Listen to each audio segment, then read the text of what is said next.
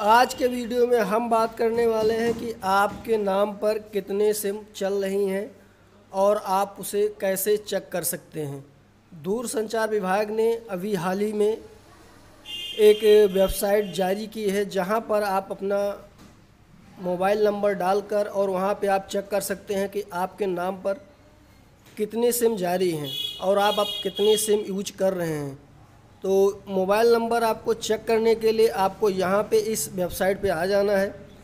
इस वेबसाइट की लिंक मैं डिस्क्रिप्शन में दे दूँगा। आप वहाँ से भी इसको खोल कर लॉगिन कर सकते हैं। और यहाँ पे आप नीचे इनका जो डिस्क्रिप्शन है, यहाँ पे आप पढ़ सकते हैं।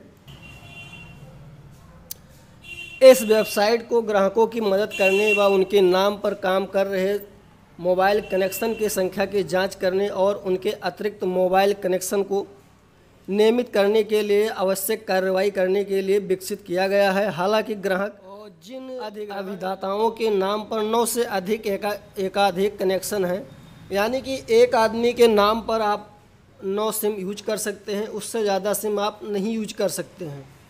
और जिन सदस्यों के नाम पर नौ से अधिक एक, एकाधिक कनेक्शन है वो कर सकते हैं आवश्यक कार्रवाई करने के लिए।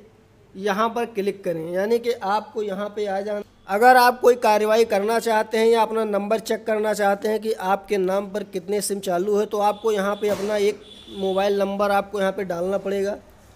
जो मोबाइल नंबर आपके नाम पर रजिस्टर है तो यहाँ पे आप मोबाइल नंबर डालेंगे, उसके बाद यहाँ पे रिक्वेस्ट ओटीपी पे सेंड करेंगे। और जो नंबर आप डालेंगे, उस पर एक ओटीपी आएगा, ओटीपी डाल के आपको यहाँ पे वैली डाटा पे ओके कर देना है।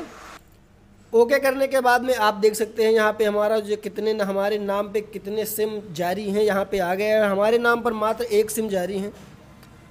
अगर आपके नाम पर ज़्यादा सिम जारी है और आप उस सिम का यूज़ नहीं कर सकते हैं तो यहाँ पे आप उस सिम की रिपोर्ट कर सकते हैं।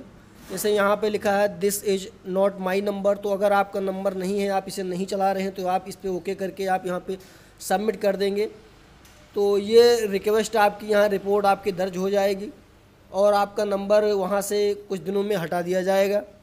और उसके बाद में आपको एक ट्रैकिंग नंबर आपको जारी कर दिया जाएगा, जिससे आप यहाँ पे अपना नंबर डाल के यहाँ पे आप ट्रैक कर सकते हैं। और बाद में अगर आप उसको कैंसिल करना चाहें तो वहाँ से आप कैंसिल भी कर सकते हैं, क्योंकि हमारे नाम पर एक भी सिम जारी है वरना हम आपको यहाँ से करके दिखा देते। अगर इसको हमने कुछ कर दिया और सिम हमारी बंद हो गई तो हमें ज़्यादा आगे प्रॉब्लम पड़ सकती है।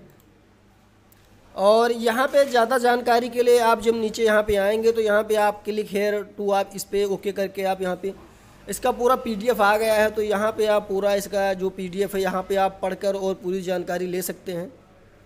और यहाँ पे दूरसंचार विभाग ने ये जारी किया है कि जिसको मालूम नहीं है कि हमारे नाम पर कितने सिम जारी हैं तो यहाँ पे आप अपना चेक कर सकते हैं, और आप कितनी सिम चला रहे हैं इस समय। उससे ज़्यादा अगर आपके नाम पर सिम जारी है तो आप उसको वहाँ पर रिपोर्ट करके और उस सिम को आप बंद करा सकते हैं। और आपको हमारा वीडियो कैसा लगा कमेंट करके ज़रूर बताएँ और हमारे चैनल को सब्सक्राइब ज़रूर करें। बहुत बहुत धन्यवाद।